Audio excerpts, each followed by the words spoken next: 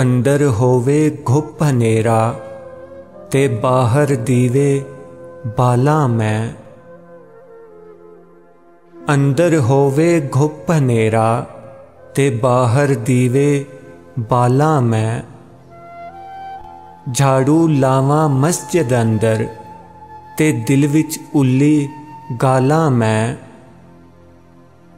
ਇਲਮ ਰੱਖਾਂ ਗੁਲਾਫਾਂ ਦੇ ਵਿੱਚ ਤੇ ਇੱਜ਼ਤ ਲੋਕਾਂ ਦੀ ਉਛਾਲਾਂ ਮੈਂ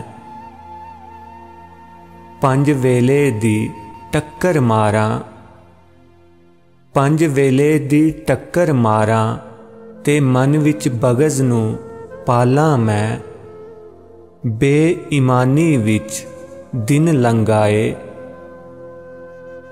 ਬੇਈਮਾਨੀ ਵਿੱਚ ਦਿਨ ਲੰਗਾਏ ਤੇ ਸੋਕੇ ਗੁਜ਼ਾਰੇ ਕਈ ਸਾਲਾਂ ਮੈਂ ਦੱਸੋ ਕਿਹੜੀ ਕੀਤੀ ਕਮਾਈ ਤੇ ਫਸੀਆਂ ਫਰੇਬੀ ਚਾਲਾਂ ਮੈਂ ਦੱਸੋ ਕਿਹੜੀ ਕੀਤੀ ਕਮਾਈ ਤੇ ਫਸੀਆਂ ਫਰੇਬੀ ਚਾਲਾਂ ਮੈਂ ਅੰਦਰ ਹੋਵੇ ਘੁੱਪ ਹਨੇਰਾ ਤੇ ਬਾਹਰ ਦੀਵੇ ਬਾਲਾਂ ਮੈਂ ਅੰਦਰ ਹੋਵੇ ਘੁੱਪ ਹਨੇਰਾ ਤੇ ਬਾਹਰ ਦੀਵੇ ਬਾਲਾ ਮੈਂ